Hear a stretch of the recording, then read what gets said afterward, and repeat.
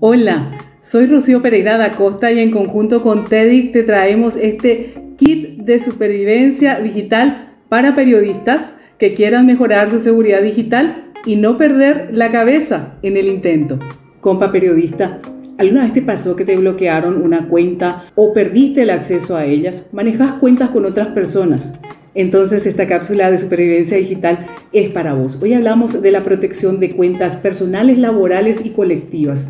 No hay mejor recomendación que cuidar tus cuentas con contraseñas fuertes, protegidas con doble factor de autenticación y cambiadas regularmente. Las contraseñas son el punto de partida de tu protección y las contraseñas fuertes y exclusivas son la principal línea de defensa.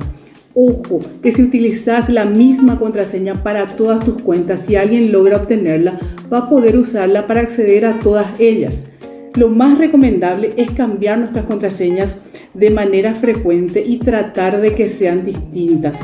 Ya sé, suena difícil, pero existen administradores y más abajo en el video te dejamos el link para que puedas fijarte. Si manejas cuentas que no son tuyas, es importante definir los roles, saber quiénes tienen acceso a la contraseña. También deben cambiarla cada seis meses y activar la autenticación en dos pasos. Si es tu caso, pasa estos videos a las personas con las que compartís las cuentas para que todas estén al tanto de cómo protegerlas. Nos vemos en el próximo video.